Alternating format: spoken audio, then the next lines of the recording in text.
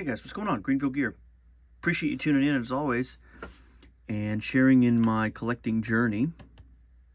I have a little bit of an update on the project for this past year in 2023 uh, to put a bow on it and you can see here I've got three pickups but basically if you watch the channel you know that my project was okay I'm going to focus which is one of the great challenges of the hobby on trying to buy a T206 card once a month and I was successful in doing that and so I want to show today again the last three cards that I picked up uh, for the year so October November uh, and December and now I'm thinking do I do a video that recaps all 12 I got during 2023.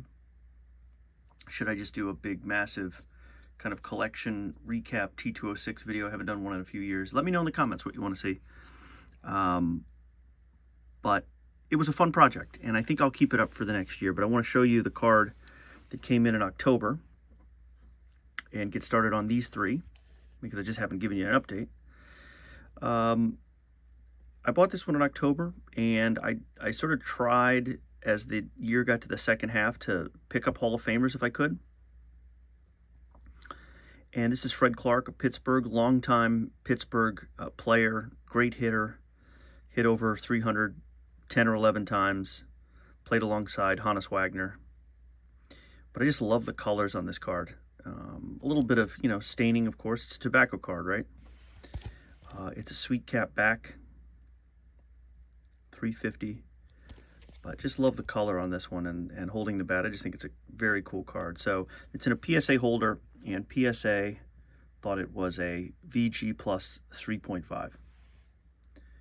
So I was delighted to add this one to the collection. I didn't have a Fred Clarke and he's a Hall of Famer. Uh, he was also a manager for a long time for the Pirates after his playing career.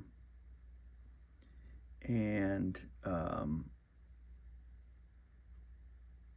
just a neat card. So that was the card I picked up in October. And I'll show you now Mr. November. Also a Hall of Famer.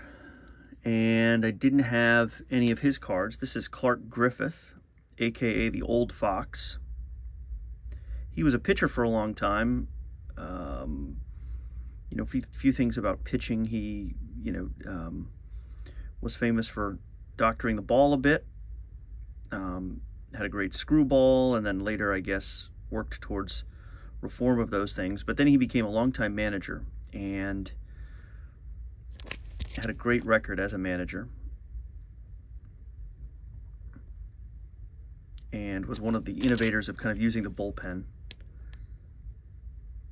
in relief as a as a kind of strategy and, and so on from from what I understand from some of the books. But um, anyway, this is Clark Griffith. Really neat portrait. I've always preferred the portraits, I think, in my T206 collection. Um, and so I always kind of lean that way.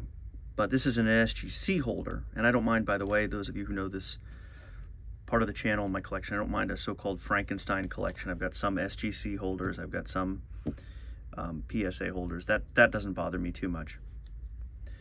Uh, but this was an SGC 3 for Clark Griffith in the portrait.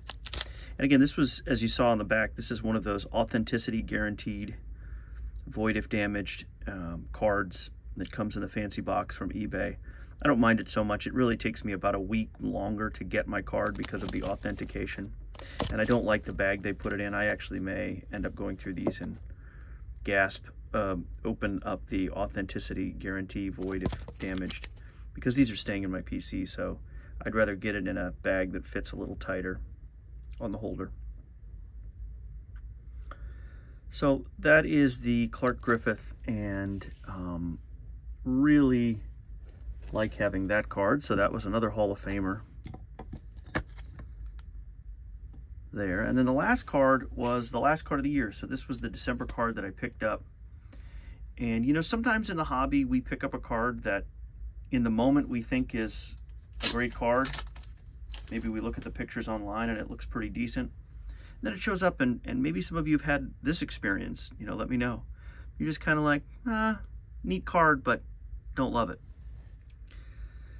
So this is also, of course, a T206 from 1910. This is a Piedmont, Dan Moeller. And Jersey City got some, you know, staining there. What I don't love about it is just there's not great registration um, to me on this card.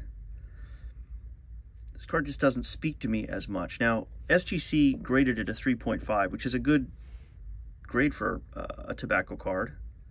And that's kind of my sweet spot for collecting. And then here's the back. It's got some wear on it as well. But this was just one of those cards that showed up and I looked at it and it just didn't spark the joy that, you know, the Clark Griffith or the Fred Clarke sparked. Of course, it's a common, so that is part of the situation too. But nevertheless, uh, I'm going to have to think about whether or not I will actually keep this. So this was my December pickup, and I kept to my mission. But I may turn around and list this one and see if I can put those funds towards maybe a bigger card or a Hall of Famer or something like that. Um, plus, this is in an old flip, and I do, for my collection, if I have SGC holders, I like to have the current um, flip. So that's the situation with the Moeller. I was happy to get it. Uh, it rounded out my 12 cards for the year and got my uh, collection to grow a bit. Um, but it was one of those cards that I sort of bought and, and just kind of wasn't as excited as I as I could have been. See also too how the print here on that red on that side is beyond the line. It just it's just not a great quality printing of this particular example. And again, looked a little better online. And I think that's okay. And I think, you know, as collectors, sometimes we have to sort to say, does this does this card do it for me? And maybe this card doesn't do it for me. And that's just a, a, a me thing and you got to be happy with your collection. So anyway, that's where we are. I got uh, three cards, three 206, two 206 cards that rounded out the uh, collection, and I did it. I set a goal. I stuck to it. I was diligent. I kept a note on my phone and just kind of made a reminder to myself, okay, here's the card I bought for February. Oh, I haven't gotten a card yet in March. And then I bought maybe a couple. And I was like, okay, well, I'm good through April.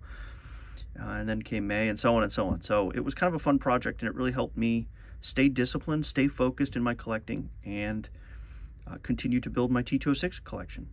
So I really appreciate you watching. Um, I'll see you uh, on the next video. And again, let me know if you think I should do a 2023 T206 year in review, and I'll show all the cards that I picked up over the year, including these three. Or if I should go back and show my whole T206 collection, which now I think is about 55 cards or so. That might be a pretty big video. Maybe I'll do both. Let me know. All right. Take care. I'll see you in the next one.